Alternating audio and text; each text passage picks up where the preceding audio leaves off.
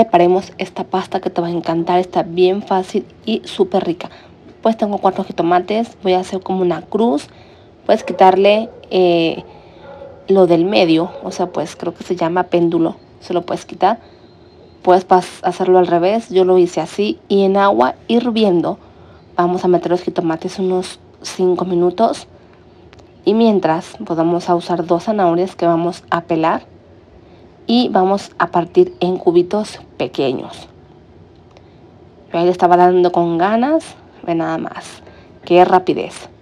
Y ahora sí, en cubitos lo hacemos a un lado, ya están los jitomates y pues por así que lo vamos a pelar, quitarle la cáscara o la primer piel, pues por así decirlo. Se lo quitamos todo y aparte pues vamos a cocer nuestra pasta desde moñito, así la conseguí. En la licuadora agregamos los jitomates, un trozo de cebolla, un diente de ajo, una cucharadita aproximadamente de orégano, una cucharadita de sal, la sal es al gusto, sin agua vamos a molerlo muy bien, que quede bien molido, porque no lo vamos a colar, así que quede bien molido.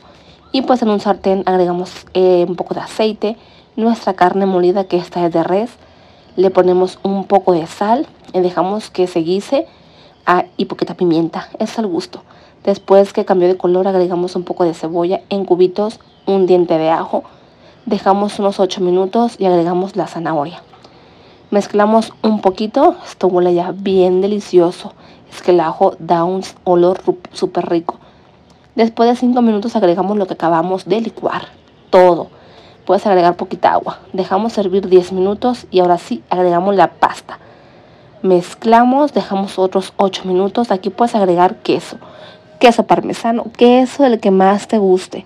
Y ahora sí, dejamos otros minutitos y es momento de servir esta rica pasta. Como te digo, puedes ponerle del queso del que tú quieras hasta crema.